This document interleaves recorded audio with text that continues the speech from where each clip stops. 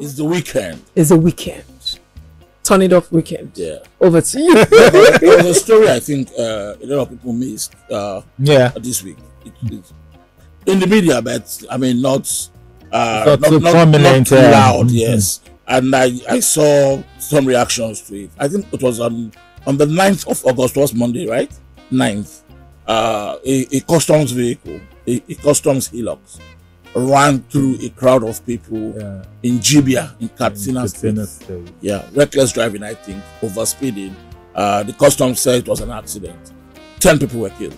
Ten. oh Uh, my yes, ten people were killed. In that crowd was uh, people who were as uh, 60 years is the oldest, and uh, an eight year, a four year old was the youngest. Ten of them.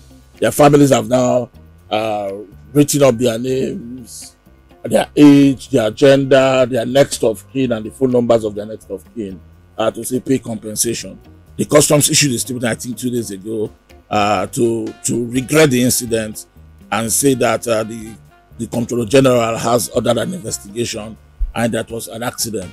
You know, but I think there needs to be an inquiry. Jibia is a border town in Katsina. Yeah. Uh, I don't know, was the custom chasing people because that becomes their their modus operandi these days. You know, But yeah, when the story came out, that was day, yeah, idea. we hear they are chasing people for bag of rice. You know, Oh. and uh, but this is a very tragic incident. Indeed. 10 people in one fell swoop. The story haven't found the kind of prominence it should it should have. Uh, you know, when I saw it, I, I tried to read through it and, and ask questions about it, and it's clear now what happened. You know, the customs Hilux vehicle ran into a crowd of people. A very busy, uh, you know, area in town in Jibia, and uh, 10 people died. 10 people. It's really sad. More than an investigation, there needs to be an inquiry. Who was driving this customs? What was the state of mind? What were they chasing? Why overspeeding? You know, in the highly crowded was he place? I under mean, the influence? big big questions. Yes, that's the first question. Was he under the influence? You know, really sad. That that story it escaped a lot of media attention, but it's there. Yeah, it's bring it actually there. Yeah, yeah.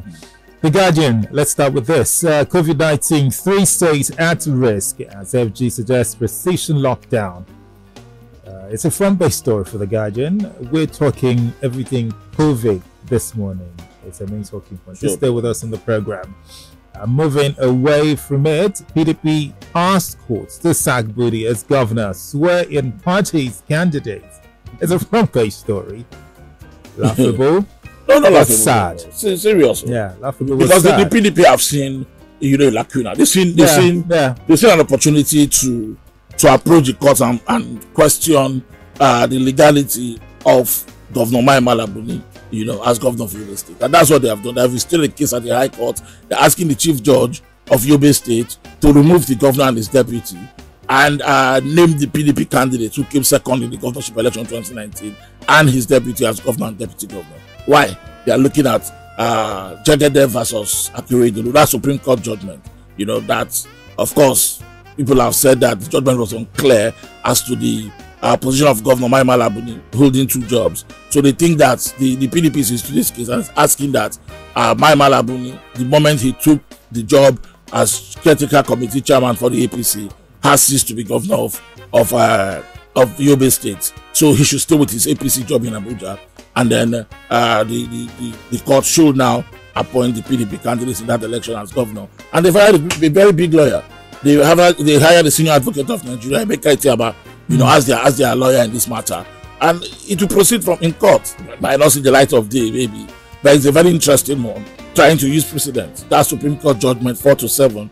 Uh, uh, that's uh, uh, four to three. You know, as as as as their basis. You know, and the, the thing about Governor uh, Malabu is that a lot of people in the state really have complained about his governance style. You know, and the PDP is also raising the alarm. He never stays in Damaturu. He's always always in Abuja. So argument about, among his detractors are saying that he loves the APC job more than being governor of of Yobe anyway. So if he if he loses the So job, there's, there's no big deal really. yeah. You know, so it's a matter in court, yes, and I, I think it's an interesting one and really really uh you know set a precedent if he if he goes on and perhaps you know see see the light of day it's very interesting because if you have to take a look at all of the governors in Nigeria, you, I mean, Buni will probably take the cake for that governor that sees being governor as a burden, so to speak. I mean, he's told, enjoying the APC political committee job. When the, when the BBC Hausa Service asked him in an interview with, with Hausa uh, that this is what people say about you, that you don't stay